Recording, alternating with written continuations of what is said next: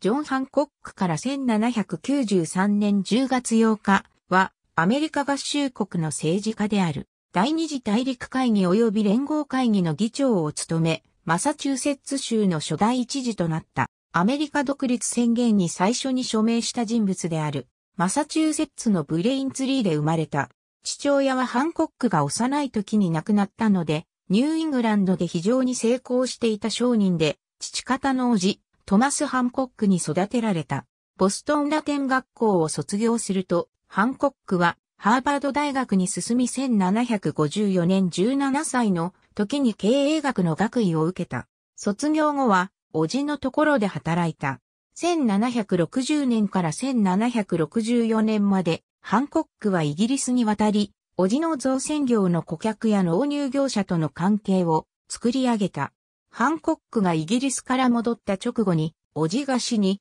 ハンコックは叔父の遺産と事業を引き継ぐことになり、当時のニューイングランドで最も富裕なものとなった。ハンコックはドロシー・クインシーと結婚した。ジョン・ハンコックとドロシーの夫妻には子供が二人できたが、どちらも創生した。ボストンの都市行政委員とマサチューセッツ議会議員となったハンコックは植民地の交易を制限することになる飲酒法が彼の事業にも脅威となったので法の施行に抗議することになった。飲酒法は撤廃されたが他にもタウンゼント処方などいくつかの法が日用品にまでの課税を義務付けることになった。その結果、ハンコックの海運事業が難しくなってきたので、ガラスや鉛、紙、紅茶の密貿易を始めた。1768年、ハンコックの所有するスループ船リバティがイギリスから戻ってきた時、所得法違反の角でイギリス税関の役人に取り押さえられた。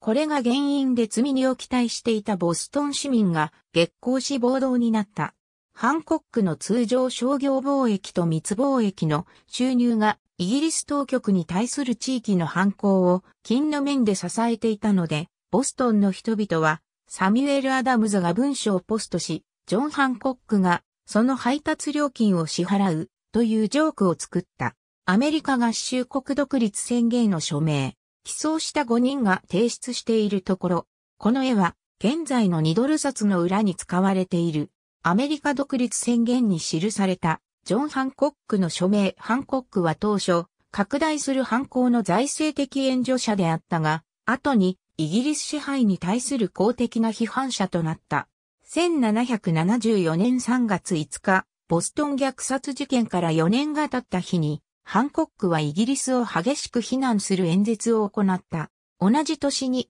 ハンコックは、マサチューセッツ植民地議会の議長に満場一致で選ばれ、その中の安全委員会も主催した。ハンコックの下で、マサチューセッツ民兵が組織できるようになり、東インド会社によって輸入される紅茶のボイコットが、結果的にボストン茶会事件につながった。1775年4月、イギリス軍の意図が見えてきたので、ハンコックとサミュエル・アダムズは、イギリス軍の逮捕から逃れるために、ボストンを抜け出し、レキシントンのハンコック・クラークハウスに滞在していた。夜中に、ポール・リビアが二人を起こしに来て、イギリス軍が夜明けに到着することを告げた。レキシントン・コンコードの戦いが起こった。この時、イギリスの総督、トマス・ゲイジ将軍は、ハンコックとアダムズを反逆罪で逮捕するように命じていた。戦闘の後でゲイジはイギリス王室に対する忠誠を表明する者には恩赦を下す旨宣言したが、ハンコックとアダムズだけは例外であった。1775年5月24日、ハンコックは第二次大陸会議でペートン・ランドルフの後を受けて第三代議長に選ばれた。ハンコックは1777年10月30日までその職にあり、ヘンリー・ローレンスに引き継いだ。ハンコックが議長になって1ヶ月足らずの6月19日、ジョージ・ワシントンを大陸軍の総司令官に任命した。1年後、ハンコックはワシントンに独立を求める7月4日決議とアメリカ独立宣言の写しを送った。ハンコックは7月4日に独立宣言に署名した唯一の人である他の55名の大議員は8月2日に署名した。ハンコックはワシントンに大陸軍の兵士の前で独立宣言を読み上げるよう依頼した。一般に伝えられる話では、ハンコックはイギリス王ジョージ3世がメガネをかけずに読めるように大きくはっきりと署名した。このことで、ハンコックの名前は合衆国の中で署名の代名詞になった。しかし、他の文章を当たると、ハンコックはいつもこれと同じやり方で署名している。1780年から1785年まで、ハンコックはマサチューセッツ州知事を務めた。ハンコックの演説者及び議長としての技量は多くの賞賛を呼んだ。アメリカ独立戦争中は、ハンコックの資金を集めて軍隊に物資を供給する能力が一番求められた。ハンコックの商業貿易の腕をもってしても、飢えた軍隊に牛肉用牛を送りたいという大陸会議の要求には悩まされた。1781年1月19日、ワシントンがハンコックに宛てて警告書を送った。多くの物資を繰り返し申請して、貴殿を煩わせるべきではないと思うが、この川のこの基地での安全と、軍隊の存続そのものの、より小さな目標はステーキである。昨日届いた、ヒース少将の手紙を抜粋して同封するが、我々の現況と将来の見通しがお分かりになると思う。それゆえに、貴殿の州からの議会要求になる牛肉用牛の供給が通常軍隊のためではないというのならば、ウエストポイントの守備兵を養っていくこと、あるいは戦場でのたった一つの連隊を続けていくことも私では責任を取れないと考えています。ハンコックは1785年11月30日から約半年間連合会議の議長を務めた後、1787年5月からマサチューセッツ州知事に復帰した。ハンコックは1793年10月8日、現職の知事のまま病に倒れ吹きの人となった。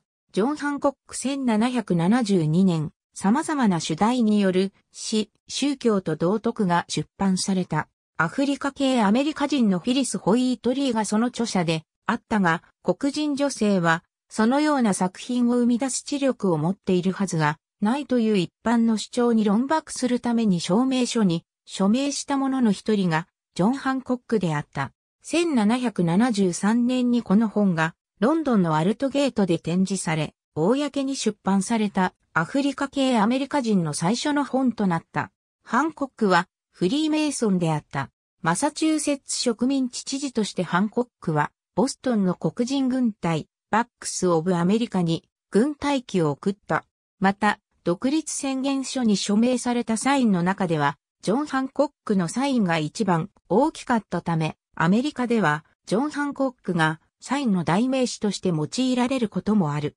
X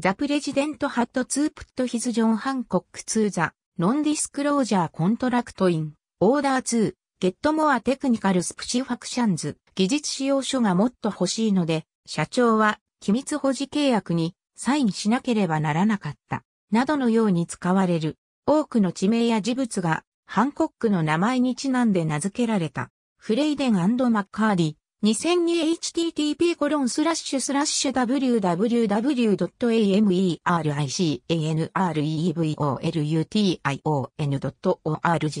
ッシュ deckey.html ハットユナイテッドステーツライブラリーオブコングレス1781ありがとうございます。